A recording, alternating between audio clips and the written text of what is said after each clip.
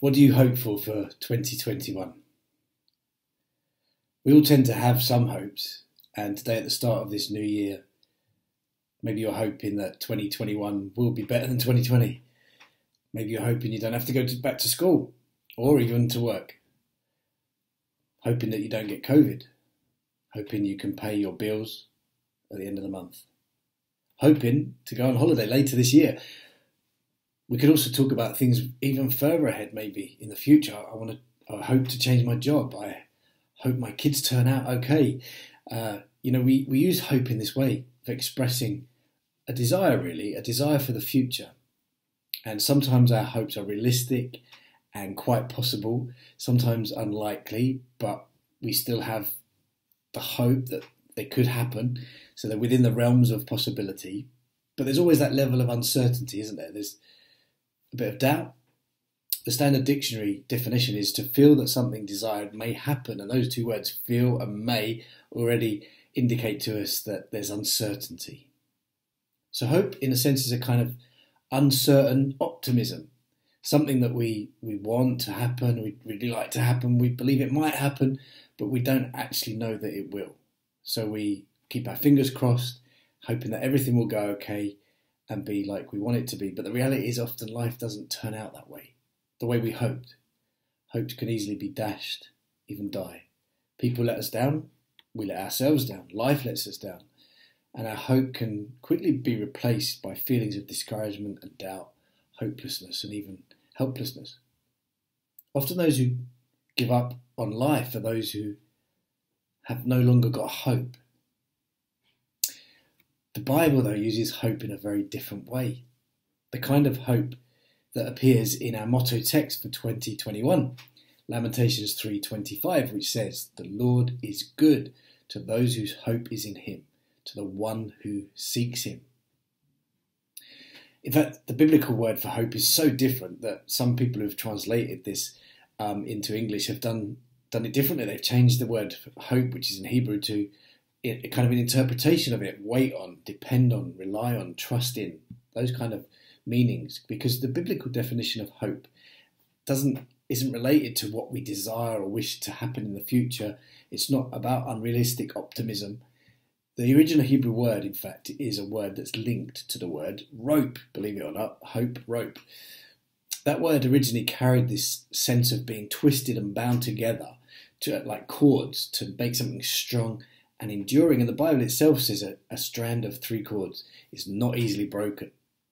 As you can see from uh, the picture of this rope, that it has different elements to it bound and twisted together, which make it stronger than ever. It's already strong on its own, but made into one piece, but with many strands, makes it incredibly enduring and strong and reliable. And could be used for all kinds of things for towing a boat, for towing a car, uh, or lifting up our weight if we need to be lifted up all kinds of things. When someone is drowning or someone is in trouble, someone is in a in a in a hole in the ground. You know what's what's it, what is it that people always think? You know what should we do? Throw them a rope. I mean, imagine yourself in any of those scenarios. You you you've, you've broken through some ice on a, a river and fallen into the water. You're in a in a in a pit. You're you're in need of escape. You're in need of help. You're in need of rescue. And suddenly a, a rope appears. Someone's thrown you a rope and you grab hold of that rope and you feel at the end of the, the, the rope there is someone to pull you up and pull you out. You're, at that moment, you'll have hope. Maybe you're in a situation where no one has come and nothing's happened and you've lost hope. And then suddenly that rope appears and you grab hold of it and suddenly you have hope. Hope on a rope. A bit like what happened in this uh, true account, which only happened uh, a few months back. A woman teetering on a ledge outside her 16th floor apartment, gasping for air in a cloud of smoke pouring out of her building. A firefighter risking his own life to save hers. News 4 Mark Santia is live in Harlem with the must-see video and what that brave firefighter had to say, Mark. Chuck, just incredible. The woman's doing okay. She's safe after being rescued more than 160 feet off the ground. 16 stories above the ground, a woman holds on for her life. Smoke and flames cutting off her escape route You can see her clutching onto the bricks as FDNY firefighters arrive. Firefighter Brian Quinn tries to ease the woman's fears. I basically just stayed at the window and tried to calm her down and tell her not to jump, that we were going to come get her. Quinn's FDNY partners worked to knock down the flames inside the apartment. We heard her screaming and just the glass falling. We didn't know what and was our neighbors going were on. screaming. Neighbors watch in horror, fearing the worst. I'm just so grateful for the courage and the um, the people that serve the people each day. The woman takes a few steps away from the window, unnerving people on the ground who are watching the rescue unfold. Oh man, she's walking on the thin edge outside the window.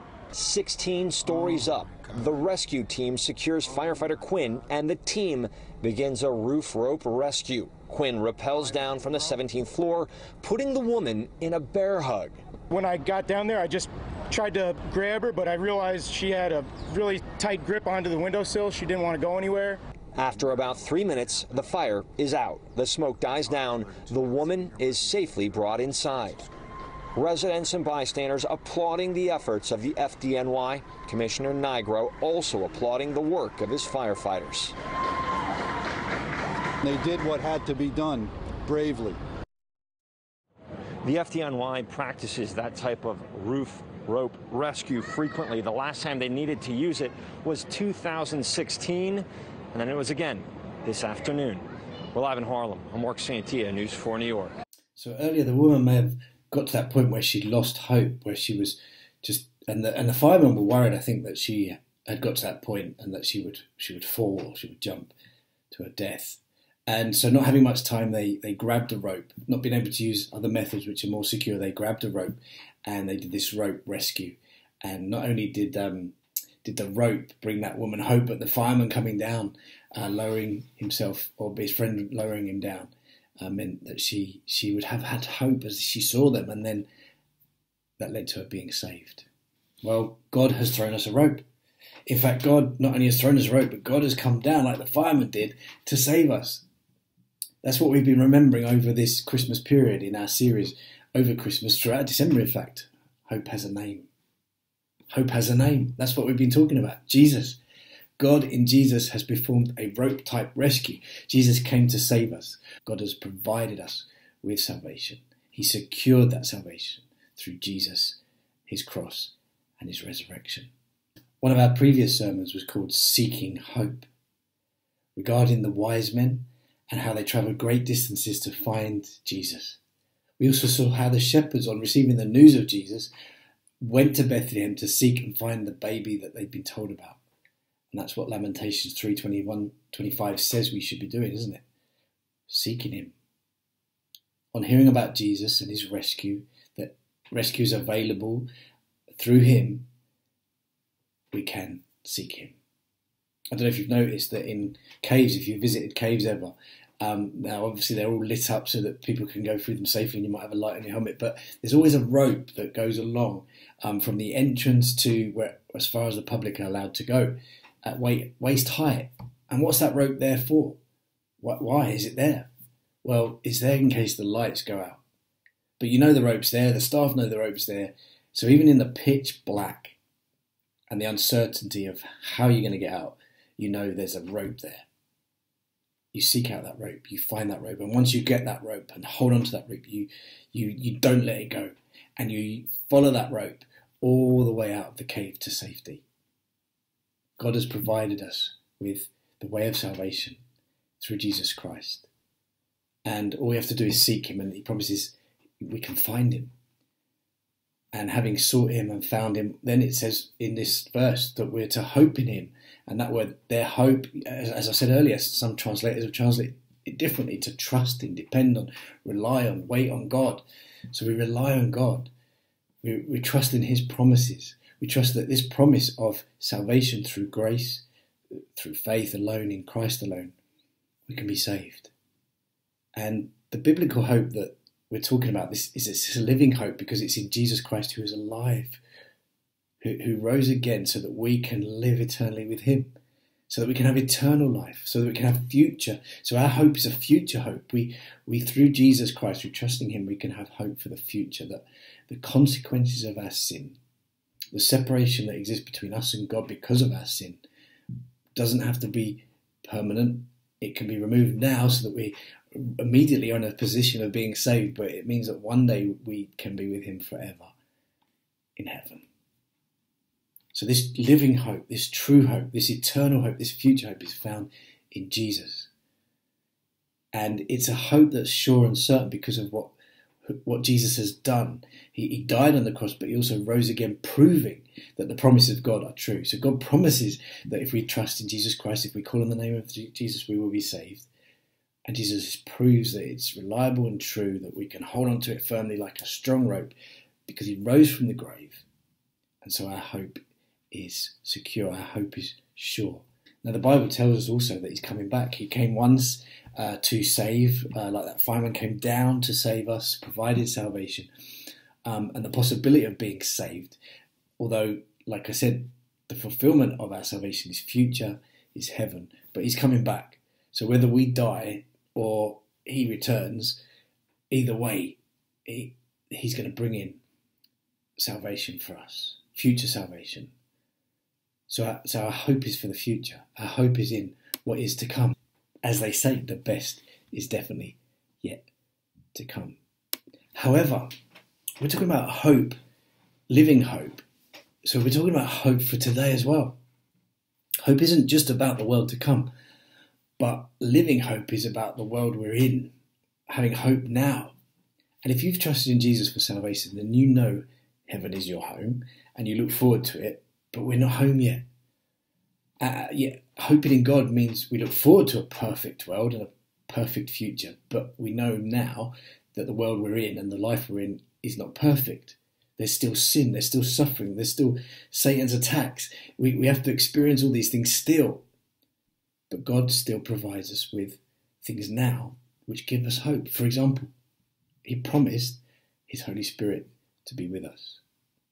And His Holy Spirit is a bit like, I suppose, that rope that you grab onto when you're in that dark cave. You're in that dark cave, and the end, maybe the, the, the end is in sight. There's a light at the end of the tunnel, but um, until you get there, you hold on to that rope. You find security and strength, guidance, help, clinging to that rope, and you don't let it go. And God is providing you that, that hope God is the God of hope, it says. And when you, you, when you become a Christian, you begin to read God's word, you find out more about the character of God, the promises of God, the activity or the actions of God. And these three elements, I suppose, intertwined are like this strong rope. This all intertwined, bound together, gives you hope. Because, well, God's character you find He's faithful, He's true, He's good. His promises, well, because of his character, we know he does not lie, and he's promised uh, to be with us no matter what. And as you look at his activity in the Bible, you see his faithfulness, and actually, as you consider your own life, and as we do church together, experience the Christian life with others, we we hear their testimony and hear of God's action and activity in their lives, and that gives us hope. So these three things, if you like, intertwined, are like that strong rope. They give us hope. Hope that the Lord is, as the verse says, good to those who hope in him, those who seek him. Now, our salvation is the most important thing, but God has promises us for today. Uh, the Holy Spirit we've already mentioned, but but with that, God promises to always be with us. We can have hope because God has promised always to be with us. He promises to guide us as we trust in Him. We've looked at that a lot in Proverbs. He promises to empower and equip us for ministry and enable us to face the difficulties that we're still going to face in this life. He's promised every spiritual blessing. And He's promised us a, a, a worldwide family, actually, of people who believe in Him who are considered now our brothers and our sisters. The word in Greek for hope gives us another dimension as well. It carries that sense of the Hebrew that is to expect and have confidence that something is going to happen, I believe it to happen, but it has the additional element of with joy, or even it could be just with enjoyment. So, so we can enjoy God. Our hope can be a joy filled hope in God, even when life is far from enjoying, enjoyable. We can have joy, we can enjoy God. So we can have joyous hope.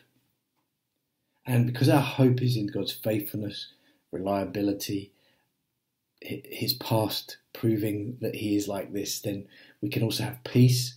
Uh, like we were looking at last week, we can know peace because God is in control and God has a plan and he's promised to be with us no matter what. So, yeah, biblical hope has joy and peace alongside it. And you may have noticed that Christmas, you know, Christmas cards have those three words hope, joy, peace. They kind of go together. And again, another intertwined rope type thing, which is strong and sure and encourages us and empowers us and equips us and enables us and keeps us safe. Well, there's still more. In addition to peace and joy, biblical hope can, as we said already, give us strength but also courage and boldness. Psalm 31:24 says, Be strong and let your heart take courage, all you who hope in the Lord. You know, we're not hoping that He's going to remove all suffering and struggles and sin from our lives. That's not realistic. That's not what the Bible promises. That's for the future. But in the present, He does promise uh, that we can know a courage and peace to face the day. We can do all things, it says in the Bible, through Christ who strengthens us. We can cope with all things. We can manage. Think nothing has to get us down or stop us proceeding because God is with us. And this year ahead, there may be more things that will get in our way or be a challenge which will cause us anxiety. There's uncertainty, there's unreliability about what's ahead. Uh, but we can still enter the new year with hope, living hope. Hope that will encourage us and motivate us to keep going in the face of difficulty, but also keep going with the uh, mission the ministry God's called us to. It says in God's word in 1 Timothy 4:10, "For it is for this that we labour and strive."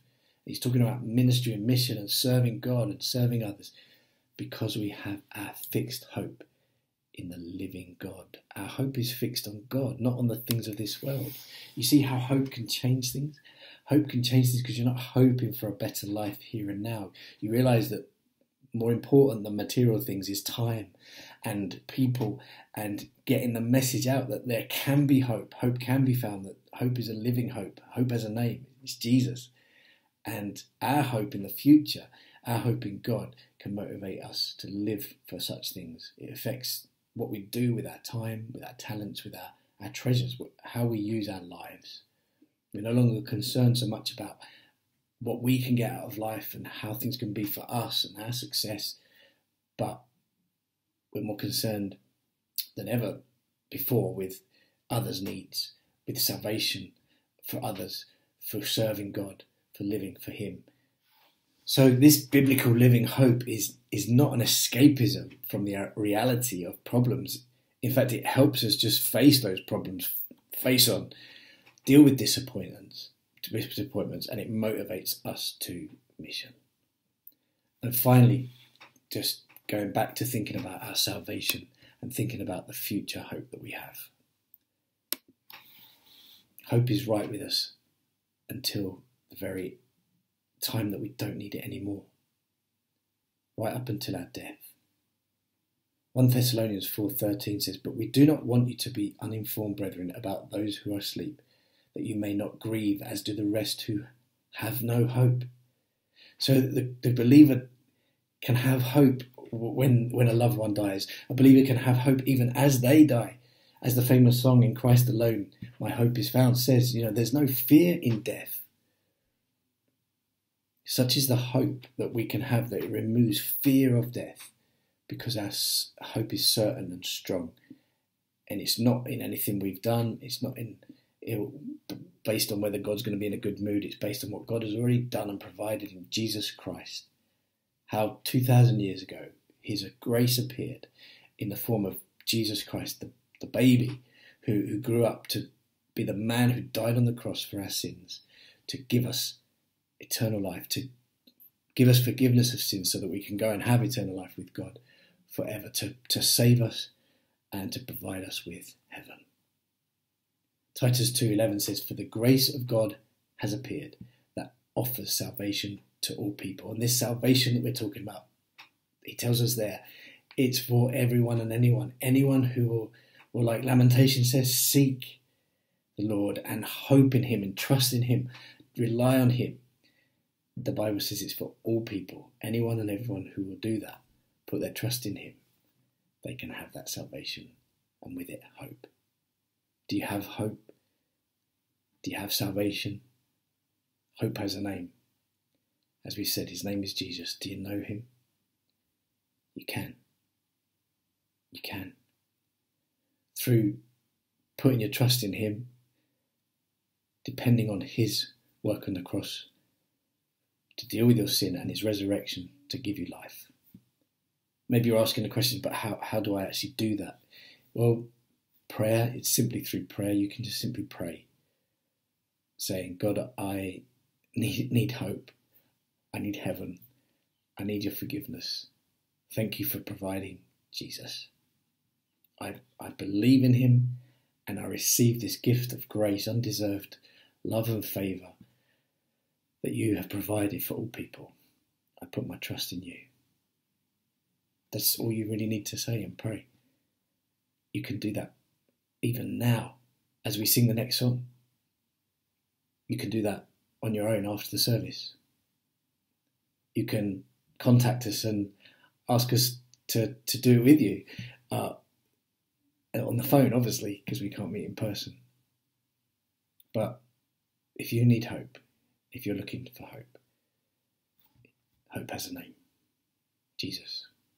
Trust in Him, rely on Him. If you've already done that, keep trusting in Him and relying on Him to be that kind of secure rope that provides us with security, strength, salvation.